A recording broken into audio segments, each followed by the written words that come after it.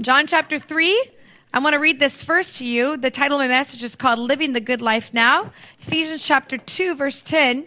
It says it well. It says, For we are God's own handiwork, his workmanship recreated in Jesus Christ, born anew, that we may do good works which he predestined, planned beforehand for us. How many of you are glad that he's predestined and planned some good things for us to do?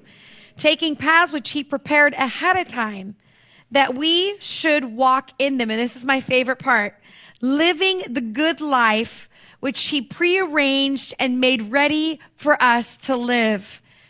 I spent too many years living the bad life. I spent too many years living on cruise control and hoping that my life would get better if I could just marry the right person, have the kids, have the money, have the ministry. Then I would be ready to have the good life. And I came to a conclusion many years ago that ultimately whatever I needed wasn't going to give me the satisfaction of actually living the good life because living the good life was not a destination. It was a journey and it was about knowing a man, not necessarily knowing information. And so because of that, I found that living the good life, God predestined and ordained my life, just like your life, to live in him and to live out great things. How many of you know that God has a great plan for your life? He's excited about your life, whether you've blown it, done some stupid things, maybe have gone through some things that you don't want anyone else to know about, and you may feel totally discouraged and depressed and shattered even today. God is not, He's not given up on your life. He's not given up on, on who you are, what you're called to be, what he has ordained for you. He loves you. He's for you. He's got good things for you. He knows ultimately what's going to satisfy you and he's prepared it all for you. And if you jump in full force into your relationship with him, I promise you, you will never be disappointed. The Bible says he's that the righteous are never forsaken, that those that know him are never disappointed, and that we can be completely fulfilled and content if we walk with him. And so that doesn't mean everything goes easy, but it does mean that he knows what we need and that at the end of the at the end of our days, we can turn around and know that we did all that he asked us to do and we can turn we can have that fulfillment knowing that we've lived the life, the good life now that he's prepared for us. We're going to talk about a story in the Bible in John chapter 3 where there was the, one of the smartest men in all of the biblical times. He was part of a group of 71 men that memorized first five chapters of the Bible, this man was very intelligent. He was revered for his intelligence, for his morality. He was respected. He was the kind of man that would walk into a room and everybody knew who he was. Everybody respected him and, and they looked to him to know which way should we go, what should we do, and what does the scriptures have to say about it. This man knew a lot. And at the end of the day, he was coming to Jesus late at night because he wanted to know how to live a good life. He wanted to know, how do I live this life that, that you've been doing things that no one's ever seen? And you, you obviously have more, and I, I'm not experiencing this. And so he's coming to Jesus. And I want to say this living the good life is living in relationship, not just revelation. Living the good life is about being in relationship with the one who created you and knows you, not just knowing all about him. And this is the dilemma. This is Nicodemus. We're going to talk about him. This is his, his dilemma that he's coming to is that he knows a lot of things, but he doesn't know the one who does all the things. John chapter 3 verse 1 says, Now there was a Pharisee, a man named Nicodemus, who's a member of a Jewish ruling council. He came to Jesus at night and said, Rabbi, we know that you are a teacher who has come from God. Now, why would they know that? Well, for you, for no one could perform the signs you are doing if God were not with him. So what Jesus is doing is he's getting their attention. He's saying, look, you're doing things that you have to be from God because people are being set free. Blind eyes are opening. Deaf ears are being opened. People are being fed. Something is up. Something is happening and you're from God.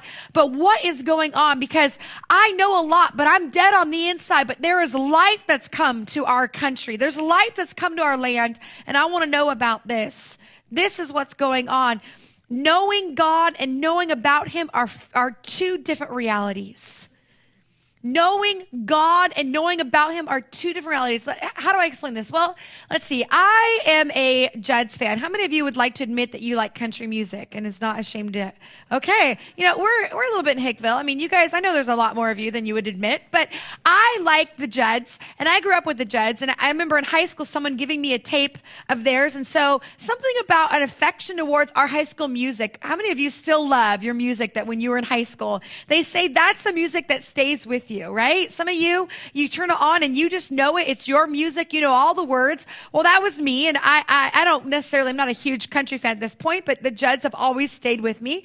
And so my sister and I, uh, she bought me t- a ticket to go see them at Arco Arena this last fall. So I was so excited. So we left the kids and I think I was like seven months pregnant at the time. And we sat with thousands of other men and women and we sang all these Judd songs, you know, like grandpa, tell me about the good old days. And like we're singing these and there's, there's people crying around me. We're having this, this moment. I have, there's women in front of me. It's like the grandma, the mom, the daughter, you know, they all three have beers and they're singing songs, you know, we're, and we're having this experience together of the Judds. And, you know, you know them. I mean, I remember she'd say, this is when my mom wrote this song. And I would think, I remember when I bought that album. I remember what I was doing. Have you remember that with certain songs? You remember when you bought that album. You remember what you were doing when you listened to that music. So I had this experience and I was in heaven. I was in like Judd heaven. And, uh, and at the time, you know, so if somebody was to ask me, you know, do you know the Judds? I would say, well, yeah, you know, I know them. And, and well, could you call them? Well, no, I don't have their number. They, I don't like know them. And if you asked Wynonna, hey, do you know who Havilah is? She would say, is that that crazy woman who attacked my tour bus? And she, it might be. It might have been me. No. She would say, no, we don't know who she is. But see, the difference is knowing a lot about someone and knowing them are two different things. But knowing a lot about someone gives you the feeling that you really know them. It gives you a false intimacy. And this is the dilemma of the church. We know a lot about God. We know a lot of scripture. We know the prayers to pray. We know the right things to say. And it gives us a false sense of knowing about Him or knowing Him, but we don't know Him. And this is Nicodemus's dilemma. He knows a lot about the scriptures and about the things of God, but he doesn't know him. And that's, this is what's happening. You see, the enemy doesn't worry about us knowing a lot about God. In fact, he doesn't mind us buying the music, going to the concerts, attending the retreats. He doesn't mind us even quoting scripture. But it's when we start to actually believe it and act on it is when he starts to get nervous. How many of you have ever gone on a journey where you begin to, you really want to know God in this one area, and then all of a sudden you start to find a lot of resistance? right? Like, God, I'm really, really going to get peace. I'm not going to be angry anymore. And then every stinking person is cutting you off on the freeway all of a sudden, right? Or God, I just want to love people. And then the most unlovable, ridiculous person comes into your life, and all of a sudden you just can't stand them. And you're saying things that you didn't want to say or do, but all you're trying to work on something. Or God, I want to get up in the morning, and your bed feels like it's never felt before. Your pillows are hugging you, you know, and you're hearing this, don't get up. I love you from your bed, you know? And you're thinking, I just want to get up and meet with God. I want to, I want to hear him. But there's something about, there's a resistance because the enemy doesn't read our minds. He doesn't know what we're going to be doing, but he's an opportunist and he knows what has taken us out in the past and he's able to say those things and, ex- and we're able to, to listen to those things and it takes us out. So we have to understand that when we get serious about God and the things of God, it's all of a sudden our theology and our reality collides. The theology is the study of God. Theo is the name for God, and it's the study of God, theology. Your theology, what you believe about God, and what you actually, what, you think you know about God and what you believe about God are going to collide. You know, the Israelites, when they left Egypt, they were in the desert for a long time. And when they had to cross the Red Sea, they could not see their promised land. And many times God asks us to step out and we can never see our promised land. And He says, I want you to come to know me for who I am. I want you to trust me.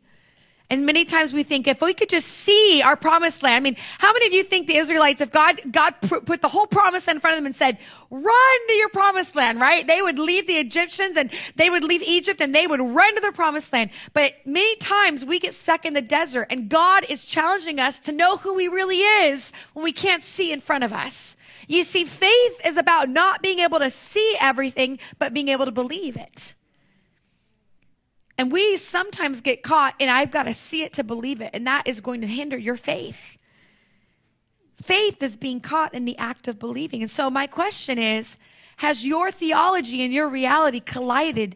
And have you, have you let your theology shape your reality, or have you let your reality shape your theology? God is looking for a people where we say, My theology is that God can. And so that is shaping my reality. My theology is that God will. And so that is shaping my reality. And we get caught up so much of experiencing what we think God wants to do when we see it.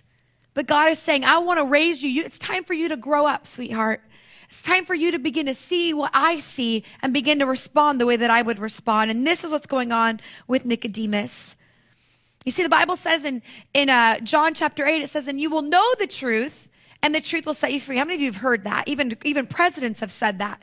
But that word know is not about knowledge. It's not about information. That same word is the same word used in the Bible when it says, and they will know their God and do great exploits. It's the same word that's used that says, and Adam knew Eve. Now, we all know what knew Eve in the Bible means, right? It's an intimate, that's an intimate word. When Adam knew Eve, it wasn't like he met her right? It's an intimate word. And so what it's talking about is, and they will know, they will intimately know the truth. The Bible says, Jesus said, I am the way, the, and the life. I am truth. Everything I am is truth. So it's saying, uh, uh, and they will know an intimate word. That, go back, if you can go back to the last scripture, and they will know the truth. If you, and they will know Jesus. They will intimately know Him, and knowing Him will set them free. Some of you have been bound and you don't know why. You've been discouraged. You don't know why. You've been, you've had chronic issues. It's because we have to know the truth, not just the information. How many of you have memorized and known and you're thinking, why am I not free? You need an encounter. Jesus wants to encounter your heart today. He wants to encounter your mind that you would not just know it, but that you would know it. You would experience it. He has set up divine encounters for you to know him all throughout your life. And he's, he's, he's, he is pursuing you in a great way. Jesus is the truth. Jesus is the way. He's the way out. He's the way through it. He's the way to it. He always has been. He always will be. He is the way. Nothing you can do, nothing you need, nothing at this moment will get you through it unless, and only Jesus can. Jesus is our only hope. He's the only way that we ever will have hope in this life. He's the only Savior. He's the only one that came and did what we could not do set ourselves free. You know, I think about my boys, and I've said it before. We have a candy section in our in our house, and when they go potty, they get a treat. How many of you wish your life was that simple? And so they'll go in and I'll hear them trying to get to the candy and they're stacking chairs and, you know, they're, they're building scaffoldings, you know, and they're, they're like, they're, they're going crazy. They're baskets. And I hear Judah coaching Hudson, you can do it. You can do it, you know, and Hudson's falling because he's the climber. He's the monkey and, you know, he's getting up there. And, and sometimes with all the effort of them trying to get their candy, I, I just, my heart gets filled with cuteness. Do you know what I mean? Like that's a really deep place, right? To be filled with cuteness. You parents and grandparents know your heart gets filled with cuteness. It's profound. You'll have to study that. And uh, I'll reach up and I'll go behind them and I'll grab them and their little hands reach up and they'll grab the candy, right? And they'll jump down and they'll run off, right? And they have this thing. And and it's like my heart's filled and they they feel like they did it. Like they got the candy and they're excited. But my joy was reaching up. And this is what Jesus did for us. Jesus came when eternal life was out of our reach, when your shame, your condemnation, the reality that you sinned and fallen short of his glory and could never spend eternity eternity with him, he came in and he sacrificed his own son, Jesus Christ, to die a death, to take the sin of the world, the, the shame of the world, and put it on himself, and to acquit all of us from the guilt that we deserve, which was death because we've sinned and fallen short. We deserve death. And he came and Jesus Christ lifted us up out of the, out of hell's grip, really. And he lifted us up that we could attain eternal life. This is what Jesus did. And so this is what Jesus is trying to explain to us. Amen. I'm glad that a few of us are excited about that. He replies Nicodemus, Jesus replied, Very truly I tell you, no one can see the kingdom of God unless they are born again. He's telling Nicodemus, Look, you have to be born again to experience eternal life. So Nicodemus asks a question I mean, how can someone be born again?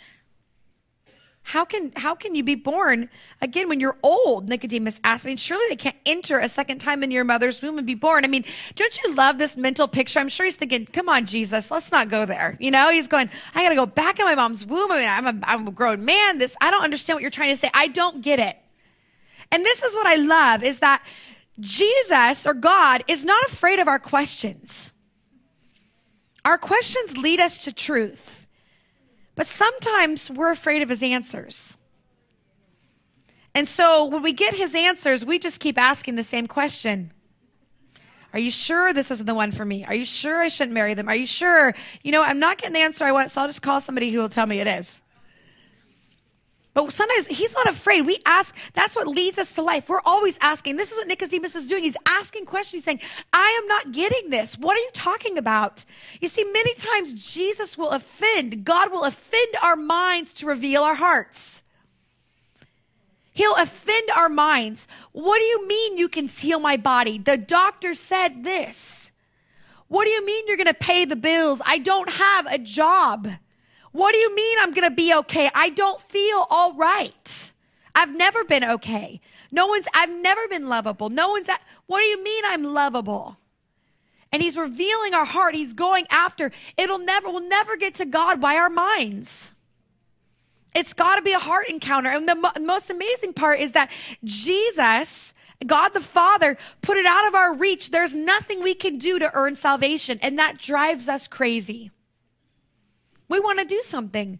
We want to we want to work hard. I mean, how many of us feel good? We're doing the right thing. We feel good. There's a, there's a payoff. Yeah, but ultimately when it comes to us and our souls, we could never do enough to earn salvation. Jesus already did it for us. And so it's whether we accept what he's already done, but not, we don't get to be added to the equation. And so he offends our minds because we want to earn it because we want to feel better. And ultimately, we could never earn it. He reveals our hearts that we we are offered a free gift. Secondly, living the good life is living a regenerated life.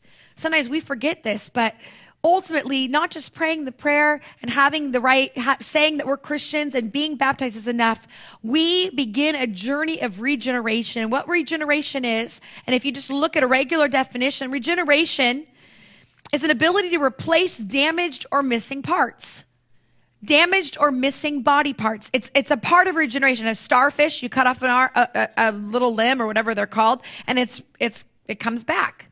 And an, an elkhorn, they lose an antler every year. It regenerates, it comes back. You were born with missing and broken areas. Whether you like it or not, there are areas in you that, that you needed a savior. You needed someone to come and restore. Now, I, I was born in a pretty fantastic family. My mom and dad love each other. They've always loved me. I've, I've been held from a little girl. I've been comforted. I've had, I've had a lot of help and I've been believed in and not everything was perfect by any means. But in this, in this world, I think I had a pretty good life. And what shocks me is that even though I've had an incredible life, I still have so much damage and areas of brokenness that I am overwhelmed at times with needing a Savior. And then I think about some of you that really didn't get to start out well. And you had the people closest to you that hurt you and abused you and neglected you, and, and you did not have what you really needed. And I think about you and I think, wow, what a savior. I mean, you need him just as much. And there's such a sense of what God can do and the, the brokenness that we need him. And I, I just, I just know, I just am confident that Jesus wants to regenerate us to such a way that we can look back and even the areas that were so broken and inconceivable, he can restore and give us rebirth. I believe that nothing is too far for him, that nothing that we've experienced or has been done to us cannot be rebirthed, regenerated, and can give us fresh hope and fresh life for those areas. And God came to do not just a partial work for those things that only we could, oh, we could imagine. He came to do the things that were unthinkable, the areas that could not no longer be regenerated. He came to do. And so we did not just, we're not just being redone, we're being reborn.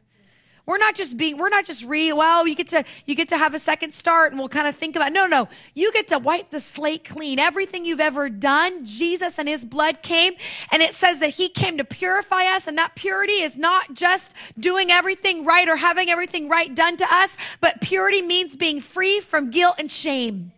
That means every one of us gets to live a life of purity. Every one of us gets to have a mind of purity. We get to be wiped clean from guilt and shame at the foot of the cross. All of us get that experience. And that's what Jesus came to do. He came to give us a bridge to life, to give us a bridge to life. Take a look at this video, and I think it explains it well. Who am I? What is the purpose of my life on, my life on this planet? Many go through life unfulfilled, unfocused, searching. A blank canvas waiting for a picture of purpose to be painted on us. What does it all mean? It was once said that there is a God shaped blank in all of us. We look for many things to fill this friends, fashion, false faith, fornication, and the facade of drug induced fantasies, but follow me. Follow me to the edge of an abyss where deep down inside we all know something's missing. See, from the moment God spoke time into existence and shaped us with his own hands in his own image, his plan was for man and him to be one. Creator and creation communing together in beautiful harmony. Sounds perfect, right? So what happened? Sin. We're, we're, we're, sinners by nature. Sin opened this void. Sin drove us away from our friends. Sin separated us from Him. And for many centuries since, we as human beings have attempted to bridge this ever widening gap with philosophies and religion, wealth and so called moral decisions. But the divisions became more instilled, uh, that God shaped hole in our hearts still unfilled, and mankind seemed doomed. Until, for unto you is born this day in the city of David a Savior, which is Christ the Lord. Ye shall find the baby wrapped in swaddling clothes lying in a manger. Oh, but this wasn't no ordinary baby. See, he grew into a boy, then a man, then a preacher, leading a multitude of people with radical and really off the wall teachings like love your enemies, bless those that curse you, turn the other cheek. He's the greatest teacher that ever was. But this was no ordinary preacher. See, the wages of sin is death, but the gift of God is eternal life through Jesus Christ. So for our sins, he had to pay the price. They put nails in his hands. Betrayed and denied. They hung him high and stretched him wide on a cross for you and I. And over 2,000 years ago, spiked through his side. Son of God, our lamb slain before the world began, died one of the most agonizing physical deaths that a person can suffer. They buried him in the tomb of a friend, but for three days his mother cried. And for three days his disciples ran, but thanks be to the Most High, that's not how the story ends, because three glorious days later, Jesus rose from the dead again. Oh, but this just wasn't any ordinary sacrifice because he became the way, the truth, uh, and the life. And we now have a way through the Father through him. Uh, through the cross, uh, we're now able to get across that great divide caused by sin, uh, separating us from him. And he's calling us, but we've got to come. See, the choice is still ours, but he has provided all the love. God so loved the world that he gave his only son. And if we only believe that Jesus Christ paid this price, Jesus said, Ye shall know the truth. No more separation. No more fear of death. No more holes in our heart. But we can now have eternal life. You see, God gave man a choice. You either accept it or reject it. For God so loved the world that he gave his only begotten Son, that whoever believes in him should not perish, but have everlasting life. Romans chapter 10, verse 9 says, If we confess with our mouths that Jesus Christ is Lord and believe in our hearts, we will be saved. It's that easy, but we have to confess it that He is Lord, and we have to believe it, that He is the one who He said He is, and that we will be saved. Regeneration is done at the foot of the cross, not at the power of your will. It's not done by what you what you will yourself into. It's done by him. We talked about that Romans chapter 5. It's done as a gift of grace. It's also regeneration is done by the Holy Spirit, not by the power of self-awareness. Listen, you finding out more about yourself is not going to lead to salvation. You finding out more about what you need and what you want is not going to lead you. You, the little things you hope will change. If I could lose the 10 pounds, if I could have that car, if I could have that marriage, if I could all change, I'll be a better person. I'll be happy. No, no, no.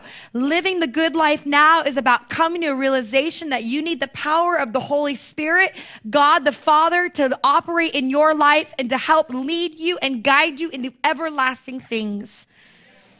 You cannot will it. You cannot wish it. You cannot hope it. There is no power in you that can set your life up that you somehow will have a better life. Because there are things that are coming against your life that you have no control over. And we have a free will in this world, and that free will leads people into things that, that lead to death and lead to sickness and lead to brokenness. And so we need the power of God to keep us, protect us, help us in this life. Titus 3 5 says it so well. He saved not saved us not based on deeds. That means it's a gift. Nothing you could have done could lead to salvation, which we have done in righteousness which means right standing with God, but according to his mercy by the what? Washing of regeneration and the renewing of the Holy Spirit. You need, I need to be renewed and refreshed and regenerated by the Holy Spirit. So he explains in Nicodemus, he goes on, the wind blows wherever it pleases. You hear it sound, but you cannot tell where it comes from or where it's going. How many of you love the wind? Right? You sit there and you can feel the wind blow and you can't, you can't touch it. I don't have wind. Here's wind. Look at wind. No, no. It just comes and it goes as it pleases. He says, so it is with everyone born of the Spirit. And here Nicodemus, again, he's saying, how can this be? I mean, he is having a hard time. Listen, the gospel, salvation, the story of salvation is a simple story. And we overcomplicate it. We, it's, we make it complex, but it's not. He's saying, How can this be? And Jesus asked him, I mean, you're a teacher in Israel. How can you not understand these things? How can you not get it?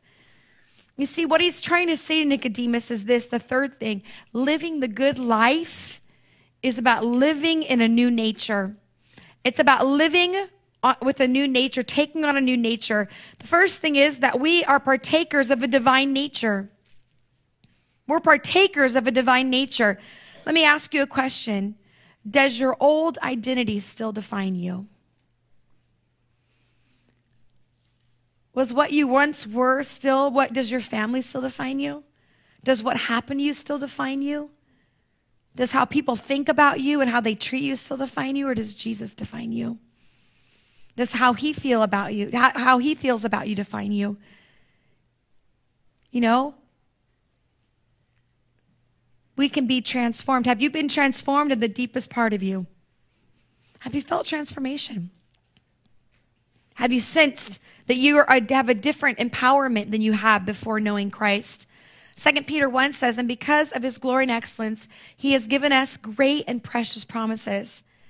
These are the promises that will enable you to what? Share in his divine nature and escape from the world's corruption caused by human desires. Secondly, we've been given a new, we're a new creation.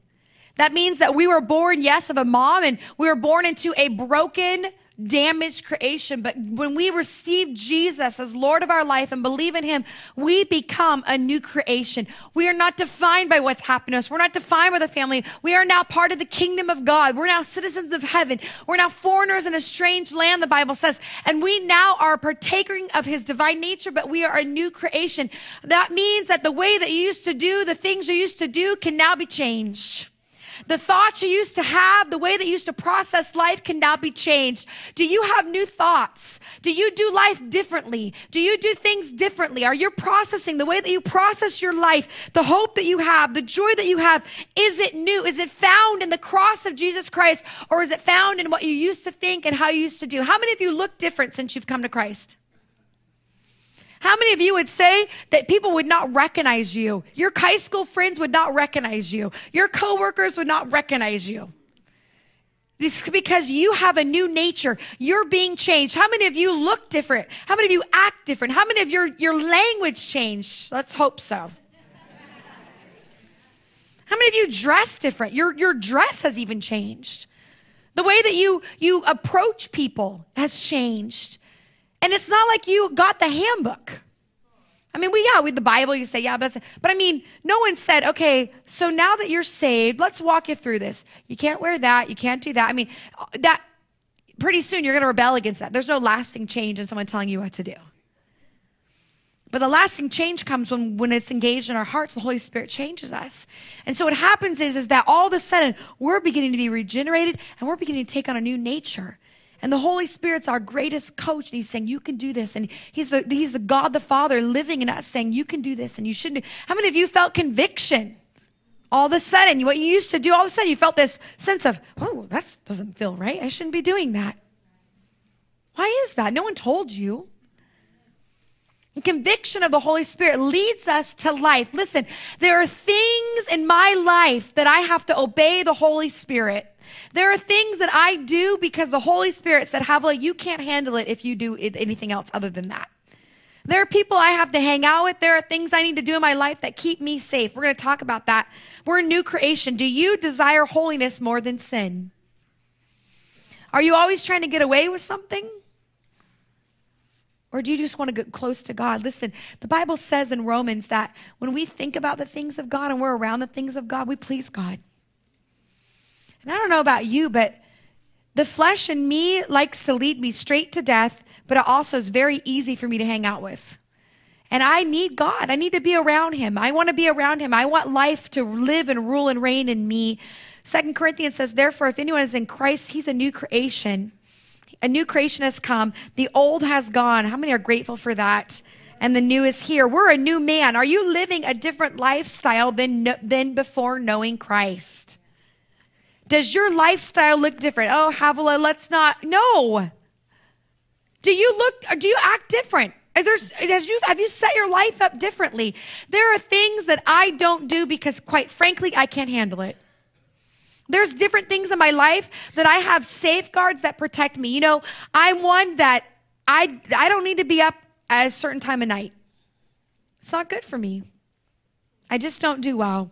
How many of you just know there are times within your day that you're more vulnerable than other times? I've given myself a bedtime. Why? Because I don't need to turn the TV on. I don't need to turn the computer on. I don't need to be around it. I have to protect myself.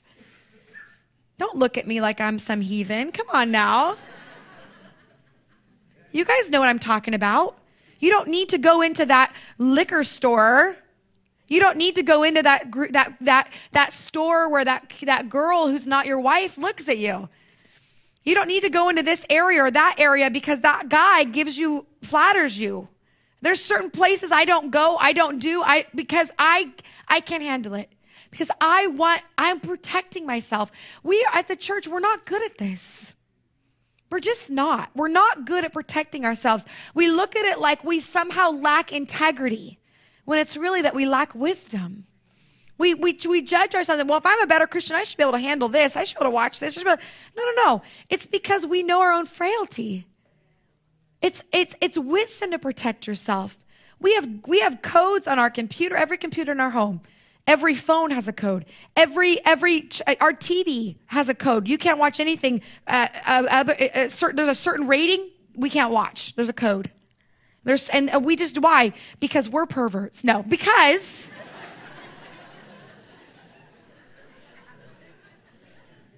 because I want to protect myself. I want to guard myself. And there are certain times in my day and certain times in my in certain seasons when I'm less safe than I am in other seasons. How many of you have felt that? Even in your marriage, there are certain times when I just don't need to be talking to, hanging out, walking. I, I don't need to be around that. Not because I don't have a great marriage and a great man and I'm not fully fulfilled. It's because the enemy knows I'm weak. And he's an opportunist and he would love nothing more than to add something else that I can be shamed about. And some things in my family I don't do because I'm trying to lead my kids into life. And there are certain things. We turned off cable recently. And, you know, I hate that. I love TV. I'm, I love TV. I'm a TV watcher. I like it. I enjoy it. My mind goes a million miles an hour and I just enjoy watching a show. Okay? I'm sorry. And we turned it off because I couldn't control the commercials that were going on in the home. And so what happened is, is my boys would come in and I wasn't watching a bad show, but when the TV commercial would come on, I couldn't get to it fast enough. And I was afraid that they were going to see things that they didn't need their innocence robbed from them at this season. They needed, I couldn't walk them through it. They're too little. And so I couldn't say, Hey, you know what? You just saw someone shot. I'm so sorry. That's not real. That's fake blood. It's going to, oh, you'll figure it out. You're three. But I had to say, no, I'm protecting my home. And so I have my little Netflix and Hulu and I watch what I want when I want to watch it. But I had to say, no, I'm protecting. I have a different lifestyle because I'm protecting and I want to run after God. And I think some of us, we're not good at, the church is not good at teaching us those things. And I'm saying it because I need to hear that and you need to hear it. And I'm a mom, so you just got mommed. Mom made mom made made us alive in Christ when we were dead in transgressions. How many of you were dead in transgressions? Your sin was leading you straight to hell, straight to death. How many of you were so numb? You were so broken. You you were trying to go everywhere to feel something, feel alive, feel loved. You were, you were doing things because you just wanted to feel in control of your life. And the reality is you have no control. You are going to die. What you, you have no control. You've got a few out, out years on this earth and that's it. And so when we were dead in transgression, it says, by its grace, we have been saved. We are alive together in Christ, the Bible says. Do you feel empowered to put sin to death in your life? Do you feel empowered when something comes to rob, steal, kill from you? The Bible says, do you feel empowered to say, I will not, I will not do that. I will not go there. I don't care what you think of me. Some of us are so bound by human opinion that we would rather sit through a movie than get up and say, I can't watch this. I'm sorry. I'm guarding myself. And that's not religion. I just don't go there. Don't put other people down. Just say, I'm sorry. I'm the pervert. I'm the weak one. I, it's not you. It's me. I can't do this. I, I, just can't. There's certain things I can't do. And I've already talked about that, so I won't go back there. But at the end of the day, do you feel empowered to say no? Say no to the things that are going to lead you astray. That is what partaking in divine nature does. It empowers you to do the right thing. You don't have the power to do the right thing. There's things you're going to do. How many of you have done the wrong thing when you so hoped that you would not? Right? I mean, how many of you have ever tried to go on a diet, right? I will not eat, I will not, I need this donut, right? I'm eating this. What am I doing, right? I mean, we do things where we don't want to, or we don't have the power. The Holy Spirit empowers us to do the right thing. It is His divine nature that leads us to life. It's His divine nature that says, don't do that, do this. You need this. It protects us and keeps us. And it is His love that leads us. Lastly, the last thing I'm going to say, we are created in Christ Jesus, which means we're reborn and we're recreated. And I'm going to start with the last verse that we began with. Ephesians 2:10 says, "For we are God's handiwork, created in Christ Jesus. You have been recreated." All has been gone. Everything you've done that's been wrong, everything you've done to hurt anyone, anything that's been unmeditated or not meditated and premeditated sin. The stuff you thought about, you know what I'm talking about. The stuff you thought about and you went and did anyway, even though you knew you shouldn't, but you did it anyway. God came to redeem that. He does not hold you account. He holds you accountable, but he will not that that can be removed from your record. And we've been created to do good works, which God prepared in advance for us to do. Do you feel empowered by the Holy Spirit to live this new life? Do you feel empowered to do the right thing? I just want everyone just to look at me in the eyes for a minute. We're almost done. Today, you can start over. Today, you can press delete. That's the wonderful thing about living for God is that He allows us to start over. That if we truly want to begin again and we truly want to be set free and we truly want to live for Him, we can do it today. We can live for Him today and we can start again. And maybe you've not felt empowered. Maybe you've prayed the prayer and you can have the worship team come forward, but maybe you've prayed the prayer before. And you know, the thing in the Bible says is that if we clean out the house and we don't fill it with something, it comes back stronger. How many of you felt redeemed and set free from things, but because you didn't act on it and uh, actively work it out, you feel even more bound and more discouraged and more shamed because what you said you wouldn't do, you did, and then you, you're caught up in that. Today, God wants to give you a new empowerment to live for Him full hearted. Some of you have prayed the prayer, but you've never been baptized. You need to be baptized. Next week, we're baptizing people. You need to be baptized. You need everyone around you to see, I am, I am with Christ. I'm with Him today. And then some of you, I just believe like you, you've never, ever, you've just never, ever been reborn. In fact, if you were to die today, you would not be confident that you'd make it to heaven. You wouldn't be confident that Jesus would say, Yeah, there's, there's my son, there's my daughter, I know them. You wouldn't have a confidence. And today, God wants to give you that confidence that you can be born again, saved and set free. Would you stand with me? We're going to close today, but would you close your eyes for a minute? And I just, I'm going to ask that no one move around. I just I want everyone just to be able to focus on this. This is really important. This is about eternal souls. So if we can just just say for a moment where you are. Today, if you feel like the Lord, if your, your heart's beating, you know that God is calling you. You know that you've never ever made a commitment to Him before, and you want freedom, and you want uh, you want to restart, start again and you believe in Jesus, but you've never made him Lord of your life before. You've never called upon his name and been saved.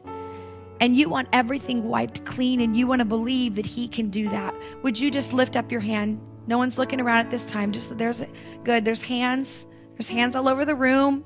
You're not alone. There's hands. You're saying, That's me. I need to do that. I need to do this. Excellent. Excellent.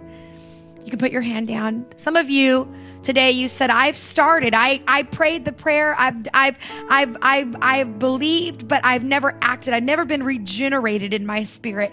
I've never experienced new life. And I, I, I just need to do that today. I want to, I want to sign up again. I want to, I want to do this again. I, I'm tired of being lukewarm. I'm tired of having no passion. I'm tired of, of just barely making it. I want to be revived again and I want it to stick this time. I want to know that I know that I know. Would you lift your hand and just look at me with your, oh, that's it, hands all over this. You're saying, that's me. I want to know. I want with confidence. I'm signing up again.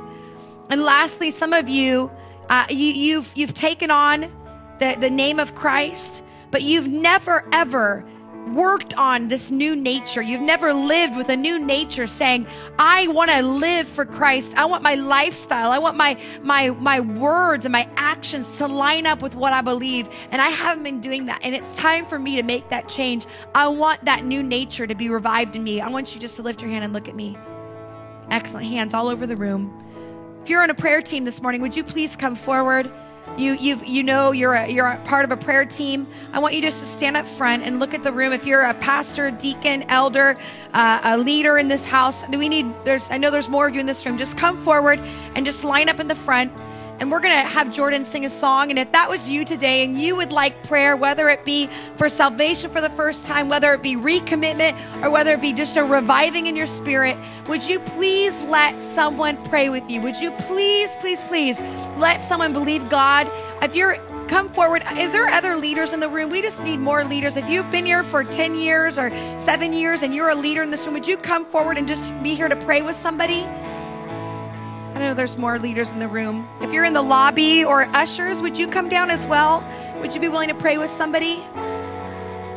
Let's just let's just get ready and let's begin to pray. So as he sings, would you come down and uh, let us pray with you, and then we'll close. Thank you, Jesus.